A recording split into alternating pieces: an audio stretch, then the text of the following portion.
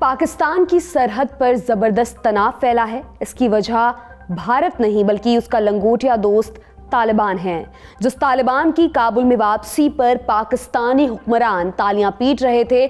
उसने उनके पैरों के नीचे से ज़मीन खिसका दी है। पाकिस्तान को तालिबान की दोस्ती अब महँगी पड़ने लगी है। महँगी तो शांति भी पड़ रही है। बीते वीकेंड में जब हम आप सुकून तलाश रहे थे, उसी समय दुनिया के कई देशों पर हिंसा और अशांति के काले बादल मंडरा रहे थे। आज के शो में हम इन्हीं पर चर्चा करेंगे, विस्तार से जानेंगे तालिबान ने पाकिस्तान के साथ अब क्या कर दिया, बांग्लादेश में संसद भंग करने की मांग क्यों उठ रही है, और इटली में प्रधानमंत्री की दोस्त को किसने मार दिया।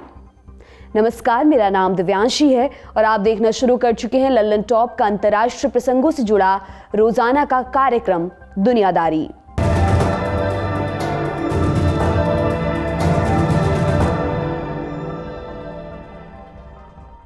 शुरुआत करते हैं पाकिस्तान से। पाकिस्तान और अफ़गानिस्तान के बीच वेश चमन बॉर्डर पर 11 दिसंबर की सुबह मंथर गति से बीत रही थी। अपने सिर पर पेटी लादे कुछ लोग जल्दी जल्दी अपने घर पहुँचने के फिराक में थे। एक ट्रक ड्राइवर अपने आगे चल रहे गाड़ी वाले को गालियाँ दे रहा था।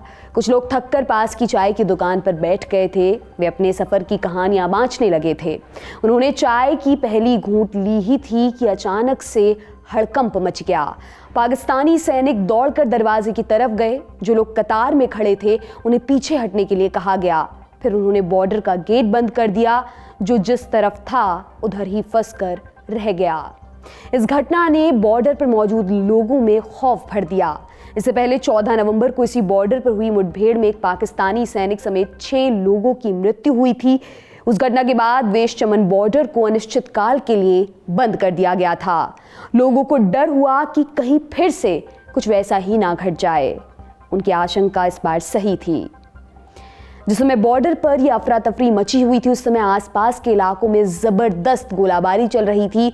अफ़गानिस्तान की तरफ़ से दागे गए मोटार के कुछ गोले एक होटल की छत पर गिरे। इसमें तीन लोग मारे गए। एक गोला एक दुकान पर गिरा, दो गोले पार्क में गिरकर फटे। कई और जगहों पर गोलियों ने नुकसान पहुँचाया। यह हमला इतना ज़बरदस्त था कि चमन और क्वेटा के अस्पतालों में इमरजेंसी घोषित करनी पड़ी। चमन पाकिस्तान के बलूचिस्तान प्रांत में पड़ता है। क्वेटा बलूचिस्तान की राजधानी है।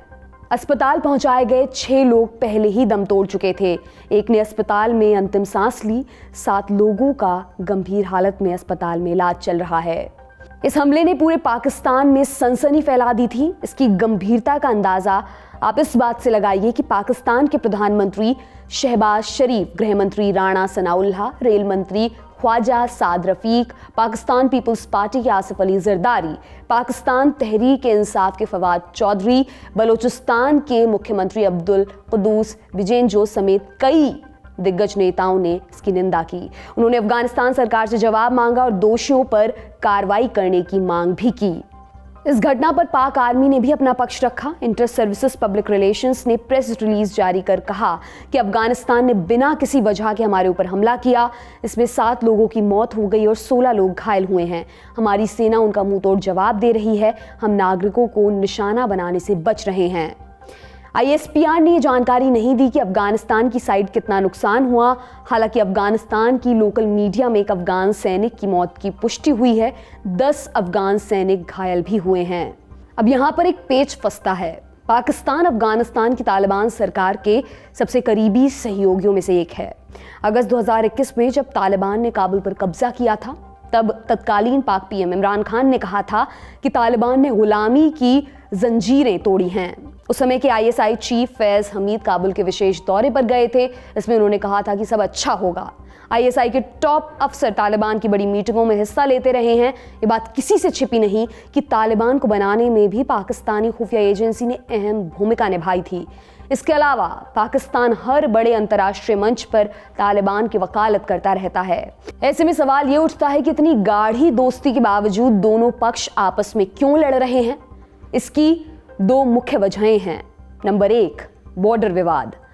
अफ़गानिस्तान और पाकिस्तान को डुरन लाइन विभाजित करती है। ये रेखा अठारह सौ तिरानवे में ब्रिटेन के विदेश मंत्री सर हेनरी मोर्ट्रिम डुरन ने खींची थी।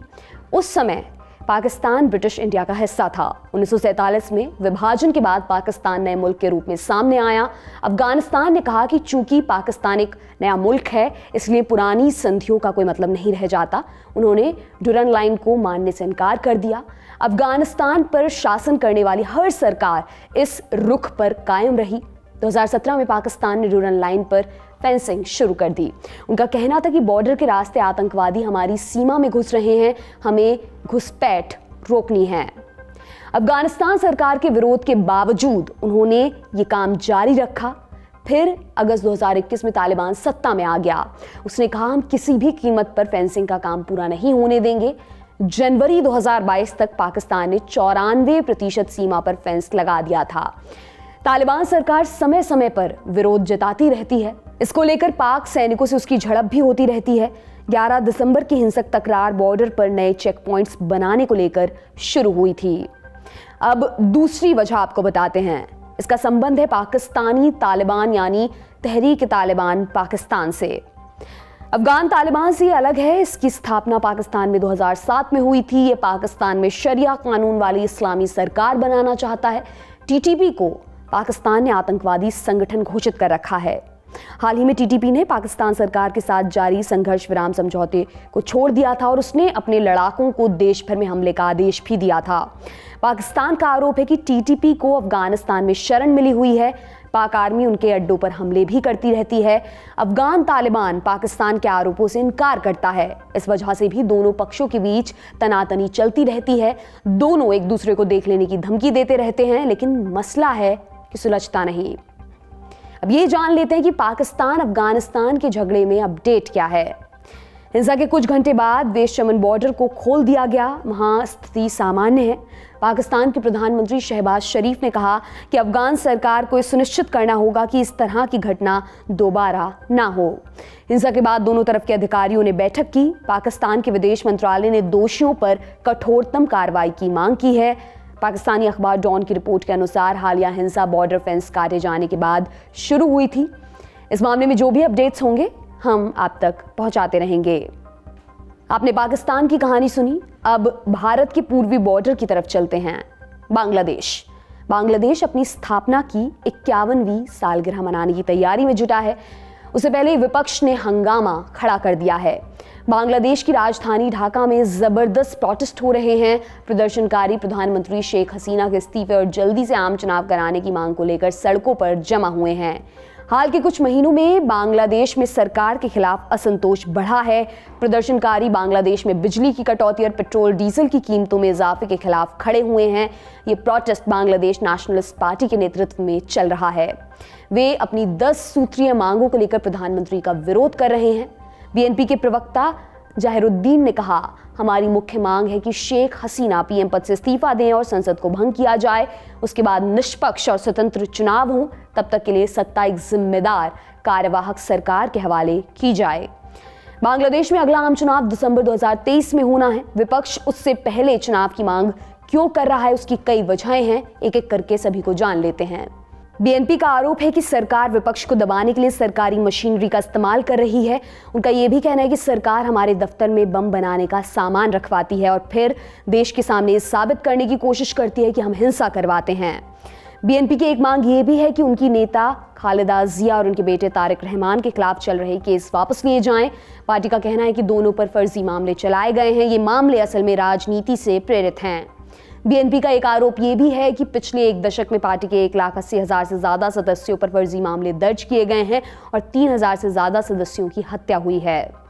हालिया प्रोटेस्ट के बाद बीएनपी के सात में से पाँच सांसदों ने इस्तीफा दे दिया। उन्होंने संसद भंग करने की मांग की है। हालाँकि उनकी संख्या इतनी कम है कि संसद की कार्यवाही पर कोई बड़ा अंतर नहीं पड़ेगा।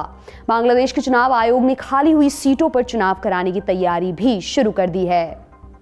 बांग्लादेश के चैप्टर को यहीं पर विराम देते हैं और चलते हैं इटली, जहाँ प्रधानमंत्री की दोस्त की हत्या हो गई है। 11 दिसंबर को इटली की राजधानी रोम में कैफ़े पर गोलीबारी हुई। इसमें तीन महिलाओं की मौत हो गई। इनमें से एक इटली की नई प्रधानमंत्री जॉर्जिया मेलोनी की दोस्त भी शामिल हैं। इसके अलावा चार लोग जख्मी भी हुए हैं। इस मामले में सत्तावन साल के एक संदिग्ध को हिरासत में लिया गया है। हमले में मारी गई निकोलेटा गोलिसानो, इटली की पीएम जॉर्जिया मेलोनी की दोस्त थी। इंस्टाग्राम पोस्ट में मेलोनी ने अपनी दोस्त के बारे में लिखा, निकोलेटा एक प्रोटेक्टिव माँ थी, एक ईमानदार और समझदार दोस्त, एक मज़बूत और प्रोफेशनल महिला, वो मेरी दोस्त थी। मारी गई दो अन्य महिलाओं के नाम, एलिजाबेटा, सिलेंजी और सबीना हैं। अब तक क्या पता चला, बिंदुओं में जान लेते हैं। जिस कैफ़े में हमला हुआ, वहाँ एक ब्लॉक की रेजिडेंशियल मीटिंग चल रही थी। माने वहाँ रहने वाले आसपास के लोग अपने इलाके की समस्याओं पर बात कर रहे थे। हमलावर का नाम क्लाउडियो कैंपी बताया जा रहा है। उसकी उम्र सत्तावन साल है। वहाँ मौजूद एक प्रत्यक्षदर्शी ने बताया कि कैंपी अचानक कमरे के अंदर आया, दरवाज़ा लगाया और चिल्लाने लगा कि मैं तुम सबको मार दूँगा और उसने गोली चलानी शुरू कर दी। कुछ लोगों ने उसको जाकर पकड़ा। रिपोर्ट्स के मुताबिक कैंपी का वहाँ के कुछ लोगों से जगह को लेकर कोई विवाद चल रहा था, जिससे कैंपी नाराज़ था। कैंपी की वहाँ की रेजिडेंशियल कमेटी से नहीं बनती थी। नवंबर में उसने एक ब्लॉग लिखा था, जिसमें ये बताया कि कैसे बिल्डिंग का मैनेजमेंट करने वाले लोगों ने कैंपी को उसके घर से बाहर निकालने के लिए मजबूर किया था। रोम के मेयर रोबर्टो गल्टेरी ने इस शूटिंग को हिंसा की गंभीर घटना बताया है। उन्होंने बताया कि वो सोमवार को होने वाली आपात बैठक में शामिल होंगे। आज का दुनियादारी यहीं पर समाप्त होता है। कल फिर मुलाकात होगी। इसी उम्मीद के साथ आपसे विदा लेती हूँ। शुक्रिया शुभ रात्रि।